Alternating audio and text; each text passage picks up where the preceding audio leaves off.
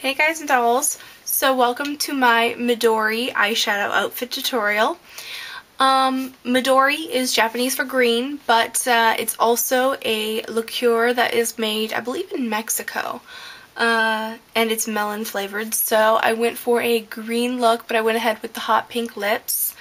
Um, the Dazzleglass that I used over my hot pink is called Sugar Rimmed. I thought that kind of went with the cocktail theme. Uh, if you're under the age of 18, obvious or 21 in the United States or 18 in Canada, obviously don't drink. Mm -mm, don't do it. It's illegal.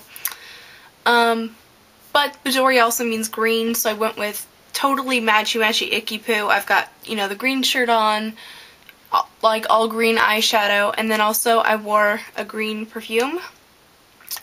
Like I said, matchy matchy icky poo. This is a very easily dupable look. I mean, I made a video in a really, really, really long time. So I'm really rusty. So if I'm really awkward or weird in this video, sorry. Hope you guys like the look. See you later. Remember to be vintage or tacky, but just be yourself. You could use all kinds of different stuff that you have, and I use some cheaper products too. Um, I hope you guys enjoyed this video, and um, check out my blog because it's got a full list of products. It's got pictures, um, I'm updating my swatch blog, or my swatch page every single day. I've added a forum, blah blah blah. Um, anything else? Um, I've got new hair, for one. I put orange in it. I think I like it. I think I kind of want to go back to red. I know, I've had pink hair, this is the longest I've had pink hair in like forever, but I'm, I'm kind of missing the red lately. I saw a girl on the street the other day with red hair and it made me insanely jealous, so. Um, other things, I have a contest coming up. Yeah, you just heard me say the C word. Contest. So excited. I recently hit 10,000 subscribers, so thank you all so, so, so much for subscribing and watching my videos and commenting and rating and subscribing. Uh, I it would just be me in front of a camera if it wasn't for all of you, so I really appreciate every single last one of you and I want you to know that. So, there will be a contest. Anyway, I'm, I'm rambling at this point. I have... So, I've already put my Too Faced Shadow Insurance all over both my lids as a primer. A primer just stops your eyelids from getting all creasy and gross and stuff like that. If you want to know more about primers, I have a video that's all about primers and eyeshadow bases. Um, next, I'm taking a Taklon brush, which is a synthetic brush, and I'm using Pharaoh Paint Pot from MAC. Um, any kind of green base would work, or you could totally use a yellow base, like uh, the NYX Jumbo Pencil, and I think it's called Yellow or Lemon or something like that. Um, or you could use just white. Honestly, whatever you want to use is fine, but I'm using this. And I use the brush just because it gives me a more precise application.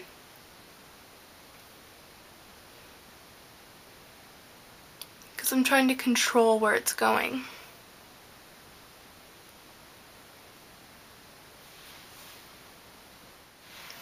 Okay, so I get that on the bottom part of my lid, and then I take my finger and run along the edge to blend it out.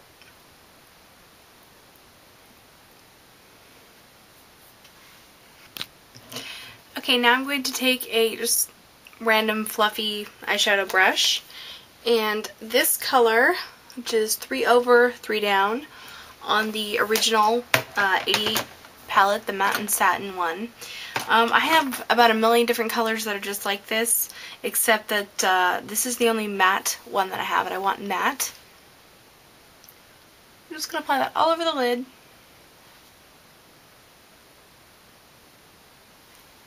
And at first I'm patting it on like this. And once you pat it on enough color, I just run my brush over the whole thing to make it smooth so there's no patchiness. Okay, so the next eyeshadow I'm using is a dark blue color. I'm using Blue Flame. This was released with last year's Cool Heat collection. I got mine at a CCO a few weeks back, so you guys might still be able to get it. Um, you could use any dark semi-shimmery blue, honestly. It doesn't really matter. I mean, it's blue, right? I mean, you could use, like, Morocco from uh, NYX. I mean, honestly, you use whatever you want. So anyway, I got some of that on my um, like angled crease brush. This is a 272. And I'm going to draw a line out and then I'm going to bring it in. And I'm holding the brush on my lid this way.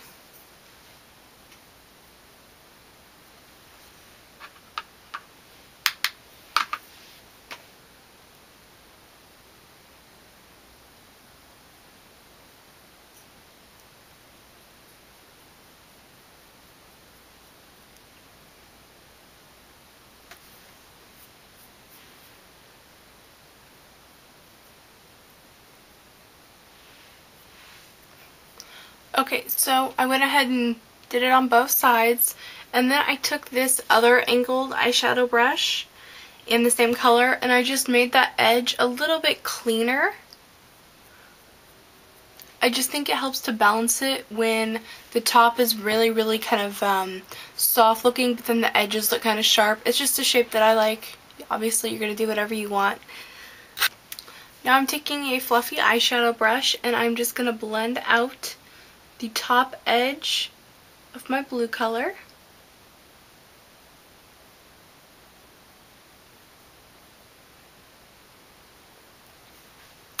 Okay, and now I've got that all blended out, and it really ends up being more of like a teal color.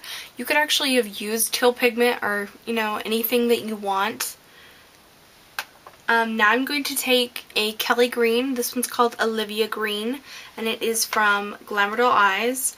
And if you'd like to see an example of how pigmented this color is, I'm going to put a link in the sidebar to a video that I did for um, a collaborative channel that I do with uh, uh, with my eyeshadows odd and candyish makeup. Uh, I painted my face with this color and it was like psycho intensely pigmented. It was crazy.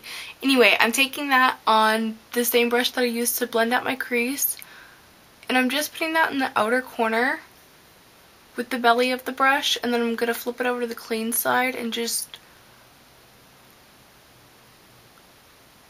blend it. This color is redonkulously pigmented. I mean, I just took like what like the little bits that were on in the cap and I'm just using that and I'm not going to have to redip it into the pot to do the other side. Okay, now to blend out this area here, which is already blended out, but I want to put a little bit more color there. I'm just taking what was left on the brush that I used to apply the lid color, and I'm just going to run it along that edge.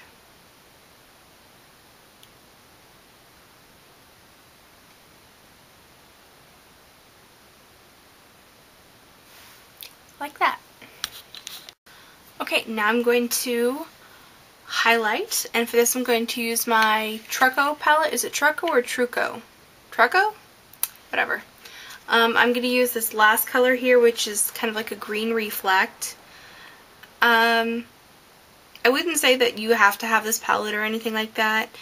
Uh, it's nice for makeup artists and stuff because they don't have to have like jars of a lot of like the duochromes from mineral companies are really really amazing. Um, but carrying around all those little jars can be a pain. So if you're a makeup artist this is great.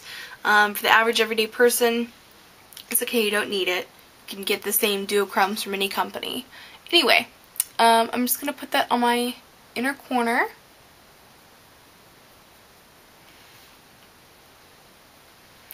And I'm going to blend it into my crease color.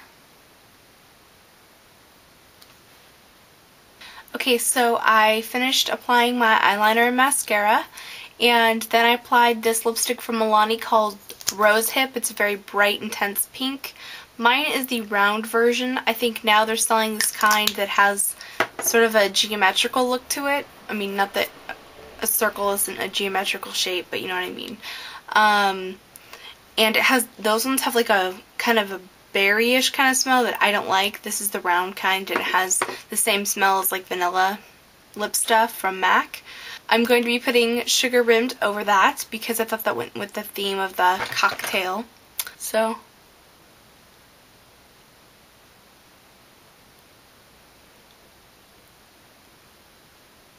So that is my Midori look. This is inspired by the color of my favorite drink.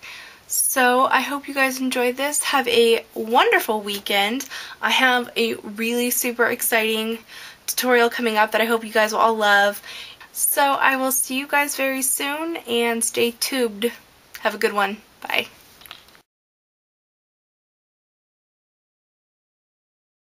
So we're going with matte, matte, matte, matte, Okay, so now your lids are bright and intense with this amazing color.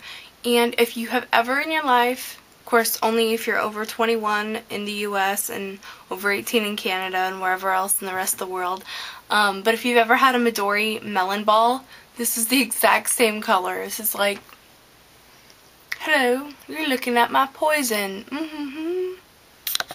Midori is Hey guys! So, um,